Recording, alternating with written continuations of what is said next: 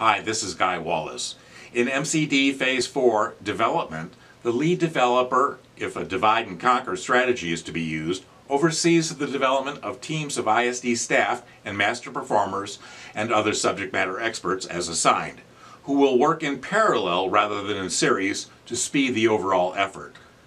This necessitates a kickoff meeting to ensure that everybody understands the entire design and their specific assignments to minimize inadvertent development of redundant content unless it is redundancy by design.